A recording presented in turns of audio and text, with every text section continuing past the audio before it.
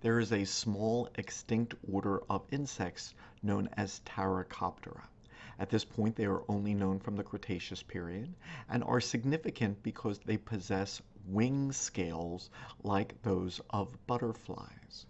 Uh, they also uh, have other uh, features which they share with butterflies, and their mouth parts uh, indicate that they probably ate plants, perhaps pollen.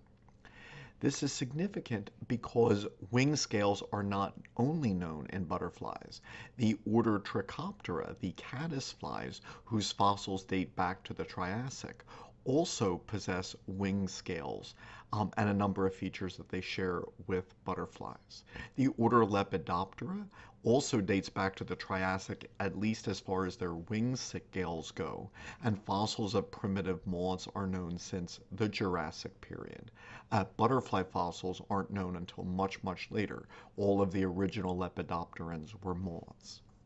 Together, these three orders are classified together in a superorder, Amphiesmenoptera, because of features that they share, such as the wing scales, the venation pattern of their wings, and in living members, the larvae can make silk, and the females possess two different sex chromosomes, as in, say, human males and mammalian males, they are XY.